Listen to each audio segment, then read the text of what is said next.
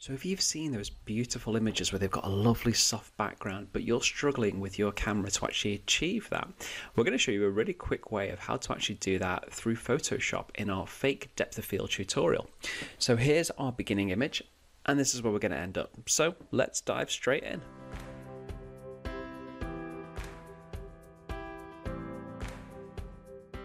So welcome to our little iPhotography tutorial about creating a fake depth of field on a photograph. Now this can be applied to pretty much any type of image really where you've not been necessarily able to apply the depth of field uh, that you really want if you want that nice soft background and to isolate your subject. Simply all we need to do in this instance is firstly duplicate our image. So to do that we can go to layer, duplicate layer. So we've got two versions of the image here. I'm just going to bring it up onto this layer panels side by side. Now simply all we need to do with our top version, our background layer here, is that we need to blur it out. Now if you'll see in Photoshop there are a number of different types of blurs. If we go to filter, down to blur. There's a whole range of different ones here. Also in the blur gallery, there's some more specific ones in there. We can get a little bit more technical. But for this tutorial, we're going to keep it really, really simple. Let's just choose a Gaussian blur. Now, it's up to you as to how much uh, blur that you actually want to apply. Now, it's got to be partly uh, related to the actual distance between your subject and your background. The further apart they are, the more the blur can be. Um, the closer they are, I think you, you want to reduce that radius um, so it doesn't seem too fake in effect. So with what we've got here, I think it does look a little bit kind of overcooked initially. So let's bring it back down a little bit. So maybe around about 8 pixels. Again, your version is going to be a little bit different depending on the image that you choose. So either way, we've got our blurred version there. Now, what we need to do is basically reveal the foreground and keep the background blurred. And to do that is just a simple layer mask. So we click on our layer mask option in the bottom of the layers panel here, and we've got our mask. Now, if you've not used layer masks before, they're a really, really simple, very helpful tool in terms of non-destructive editing. And what that means is that everything we're going to do from here on in is temporary any changes or tweaks that we make using the layer mask can be really, really quickly undone. So to operate our layer mask, we're going to need to use the brush tool. So we've got our brush tool set here and making sure our color palettes are set to black and white. Now, depending upon which color is on the foreground, which is the top one, and which one's the background, um, it will denote as to whether we're actually going to be hiding any information or revealing it. Simply put, when you've got a black brush that you're using here, this is going to be hiding the information. This is going to be basically helping us to reveal our, our subject the, on the layer underneath. And if we were using white, that's going to reveal it. But you'll see it a little bit more clearly as we go through. So we've got our brush selected. We're going to just right click and make it a little bit larger, just so it's more visible. And then let's zoom in nice and close so you can actually see the depth of field occur.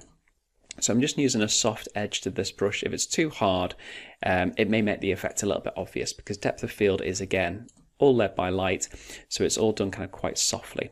And all we need to do is just on our layer mask, with that being selected, is just to brush bit by bit. We don't need to make many long strokes, just multiple small strokes, just to gently reveal our subject.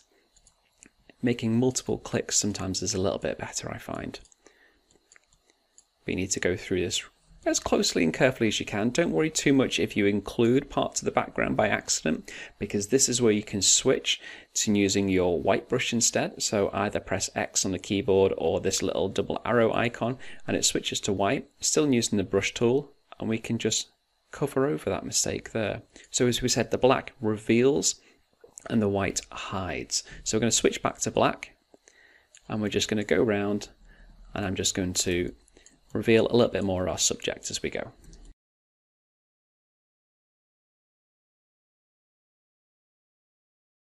So, okay, as you can see, we've done a bit of a rough outline there, but there are certain areas where the background is starting to come into focus. Uh, the areas that we've we've used the layer mask and we've brushed over that a little bit too heavily. So, as I simply said, we can just change to that white brush, go back in, and make your brush a little bit smaller and just fill in that bits of information. So we'll just re-blur parts of that background just to get a nice separation between fore and background. So layer masks are always about switching in between the black brush and the white brush just to make those adjustments. But as I said at the start, this is the beauty of non-destructive editing is that you can go back and you can quickly change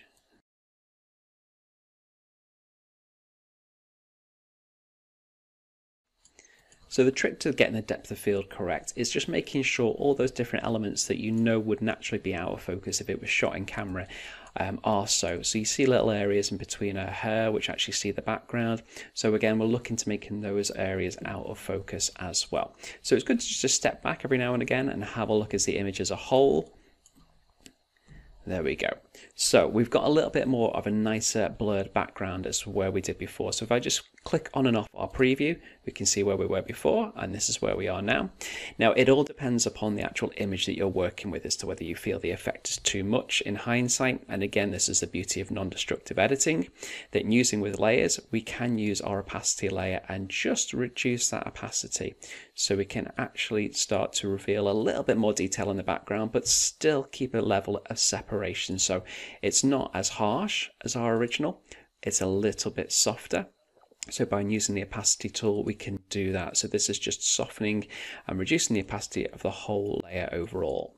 So that's our really simple quick tutorial of creating a fake depth of field around a subject. One little tip that's bearing in mind, though this instance on this image that we're using here, we can't actually see the model's feet or the floor uh, of where her feet are touching, but it is worth bearing in mind that if you want to make a nice convincing depth of field, it's worthwhile just revealing a bit of detail around the feet on the floor, because that's where naturally depth of field would occur, obviously on the subject as well as on the same plane as to where they're standing. So it's a good little thing to think about. So I hope you've enjoyed the tutorial. Keep watching out for more from iPhotography. Thanks very much.